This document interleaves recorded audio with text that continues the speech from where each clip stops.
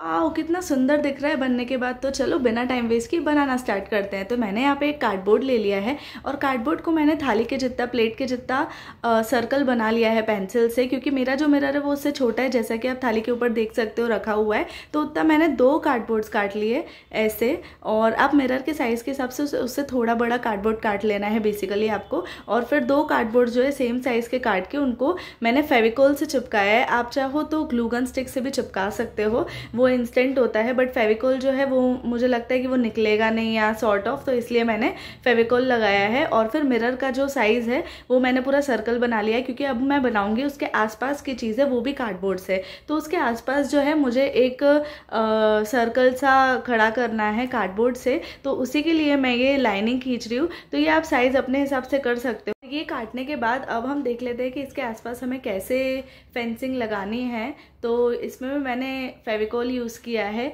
Same चीज़ कि आप ग्लू गन स्टिक भी यूज़ कर सकते हो या जो भी आपको लग रहा है कि ये वाला ग्लू बेटर है, आप वो यूज़ कर सकते हो। और इस तरीके से हमको पूरा जो सर्कल है वो बना लेना है। मैंने ये फेविकोल से बनाया है और मैंने दो मिनट तक उसको पकड़ के रखा है ताकि वो अच्छे से स्टिक हो पाए।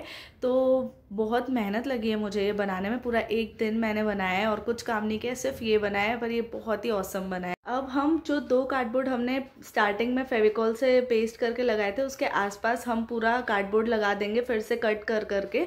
और फिर ये थोड़ा ट्रिकी पार्ट है तो इसमें हमको शेप जो है वो ऐसे काटना है कि हम इस तरीके से उसको चिपका सकें। तो इसका मैंने स्पीड थोड़ी बढ़ा दी है, ताकि आप आप थोड़ा स्पीड कम करके भी देख सकते हो, अगर आपको लगता है। बट मैंने ट्राई किया है कि मैं आपको अच्छे से हर एक चीज़ समझा सकूँ। तो जो कार्डबोर्ड है, वो मैंने अलग अलग शेप्स के यहाँ ले लिए हैं। बेसिक आइडिया क्या है हमारा कि हमको ये पूरा एक दूसरे से चिपका देना है स्पेस नहीं होना चाहिए, क्योंकि आगे हम क्या करने वाले हैं, वो बहुत ही इंटरेस्टिंग है, जिससे ये बहुत खूबसूरत सा दिखेगा।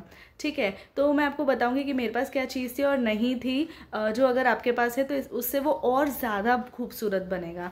तो यहाँ पे मैंने ब्लैक कलर का जो पेपर है, क्राफ्ट पेपर होता है नॉर्मल, वो मैंने लगा दिया है। तो आप, आपकी मर्ज़ी, आप कोई भी कलर का पेपर लगा सकते हो वाइट ब्लैक बट मुझे लगा कि ब्लैक के ऊपर लाइटिंग भी अच्छी लगेगी और जो भी मैं पेस्ट करूँगी, वो भी बहुत खूबसूरत दिखेगा। तो ये देखो, मैंने ग्लू गन से सारे के सारे अलग अलग काट के स्टिक कर दिया है। ठीक है, अब आता है पार्ट जिसमें कि हमको थोड़ी मेहनत करनी है और थोड़ा टाइम टेकिंग है।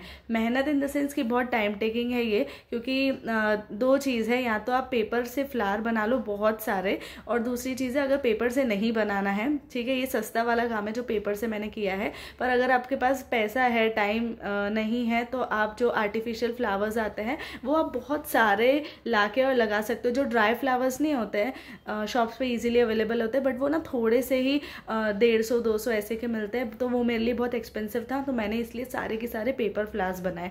तो इस तरीके से बहुत सारे पेपर फ्लास बनाए। बट पता है क्या? वो भी कम पड़ गए। और ये जो मिरर है, ये मैं पहले बीच में लगा देती हूँ। इस पर मैंने फेविकोल लगा दिया है और ये मैं बीच में पहले डाल देती हूँ क्योंकि इसके आसपास अभी मैं फ्लावर्स लगाना स्टार्ट करूँगी। उससे पहले तो मैं लाइट लगा लूँगी। ठीक है? तो ये मैंने बैटरी वाली लाइट ली है। बट इससे बेटर ऑप्शन है प्रोफ़ाइल लाइट एक प्रोफ़ाइल लाइट आती है जिसमें आप मिरर जहाँ पर लगाया है, उसके पास से आप लगाना स्टार्ट करते हो ना तो वो पूरा रिफ्लेक्ट होगा और वो बहुत ही प्यारा दिखता है। ठीक है? और इसको बोलते हैं ओएचपी शीट जो ट्रांसपेरेंट शीट होती है, ये हम बाद में लगाएँगे। पहले हम यहाँ पे फ्लावर्स लगा लेते तो ये बहुत ही इंटरेस्टिंग है। आगे मैं और बताऊँगी कि मैंने क्या क्या किया बट यार मैंने इतनी मेहनत की है, जैसे कि आप देख सकते हो, बहुत फैलारा हुआ है और मतलब मुझे ना बारह घंटे लग गए, बारह चौदह घंटे लग गए इसको बनाने में। तो यार प्लीज़ मेरी मेहनत के लिए एक लाइक और कमेंट में ब्यूटीफुल तो बनता ही है, अगर आपको ये लास्ट में ब्यूटीफुल लगे तो। और प्लीज़ तब तक आप चैनल को सब्सक्राइब भी कर दो, उससे मुझे काफ़ी मोटिवेशन मिलता है और मैं बहुत अच्छे अच्छे वीडियोज़ आपके लिए ला सकती हूँ। ये ना मुझे भेजना है, ना कुछ करना है, मैं सिर्फ़ आपके लिए बना रही हूँ तो प्लीज़ मुझे सपोर्ट करो यही सोच के। और ये देखो, इतने सारे फ्लावर्स मैंने फिर से बनाए।